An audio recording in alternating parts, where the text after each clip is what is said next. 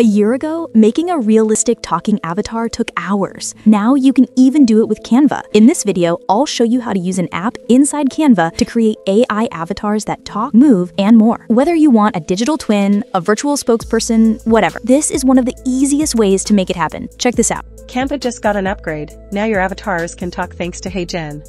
You can change the voice, accent, and tone. It's like giving your avatar personality settings. Now I'm inside Canva, and what I'll do first is come right over here to YouTube video or video and click on that, and then I'm gonna click on landscape. So this is just what I'm used to. Now, you could do this using other kinds of templates too, but since I work with video so much, this is just my usual choice. Next, I'll click here and go over to apps, and I'm gonna search for avatar. Let's see what we can find. There's a lot of different ones here, but for today, I want to use this one called HeyGen. All right, so I'll click on that, and now it's opened up this new app. If you've never used HeyGen before, it's basically a software where you can make all kinds of talking avatars, influencers, etc. So for example, if you want to see some of the ones they already have loaded, you can click here and see they some of what they offer. Different people, different clothing types, guys or girls, and in different poses. So you can pick pick any of these male, female. You can also use some photos here that have that are already inside the app. You can also upload your own picture, but first I've got to connect my account here inside Canva to use this. So let's do that first. So I'll click here to connect. Okay, so now it says I've signed in successfully. Nice. So once you've done that, let's go back over here to upload and I'll choose this one. Okay, there she is. So I'll click there to choose her. Now you can choose either the more rectangular view or the rounded one. For now, I'll just choose the rectangular. Let's work our way on down. For the script, right here, I'm going to grab something that I've already got typed up. I'll just grab this for now from ChatGPT. I'm just gonna put it right there. And then I'll come right down here and listen to the voices. Okay, now I'm gonna pick this voice and listen to it. Okay, so that sounds good. So let's just double check real quick. So we've got our image, the mode that we're going to use, our text, we've chosen the voice and listened to it, and now it's time to generate. And just look at this real quick to make sure you've got uses here in Canva. For now, I'll click on Generate Video. Now it's making it. Okay, so it just finished. That took roughly 45 seconds, so pretty quick. So we can look at it right up here. All right, so click here. It'll add it to the page right there. Okay, there it is. Now I'll show you something we could do with it while we're here. That looks pretty good, her mouth and everything. Let's try using background remover and see how it works. I think for right now though, I'm just gonna duplicate it just to be safe. And I'll take this one, click on background remover. Okay, let's watch.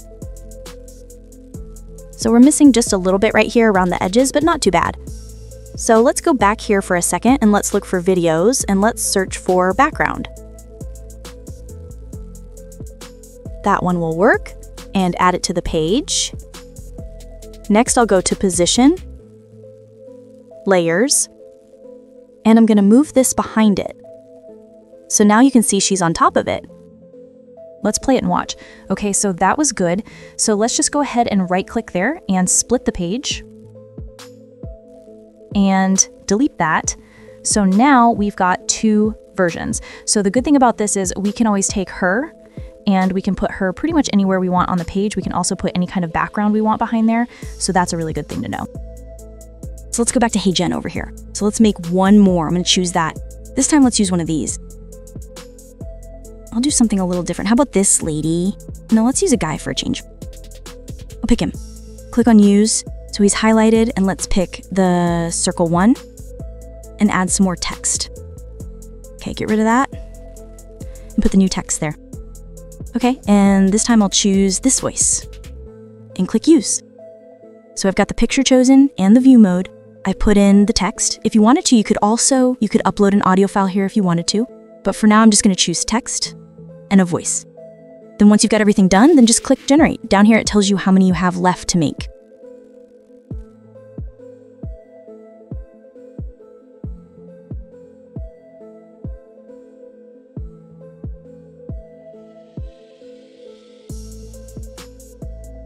Okay, now it's finished, so let's click here to see it play.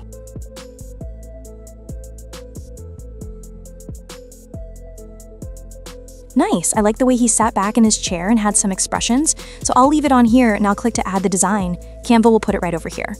Very cool. Add a few things to this and this would make an amazing video business card or something like that. You could put your information over here, download it as a video and send it out to people as a video business card. That would be just a really cool idea. Let's do one more since we have one more left. So this time, we'll do something different. This time, I want to pretend that I'm making something for me. I want to make a digital me, right? And this is not me, but I'm going to pretend that it is. Remember, this could be you if you wanted to do this for yourself. So you'd upload your picture and make this fill up the whole page. I'm going to use Magic Expand to make this fill this whole page. I think I like that one, so I'll take it. Click Done.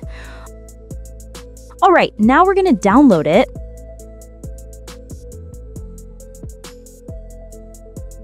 So let's click on that. And here on the text, remember, we could have uploaded an audio file if we wanted to, but for now, I'm just gonna use text I already have.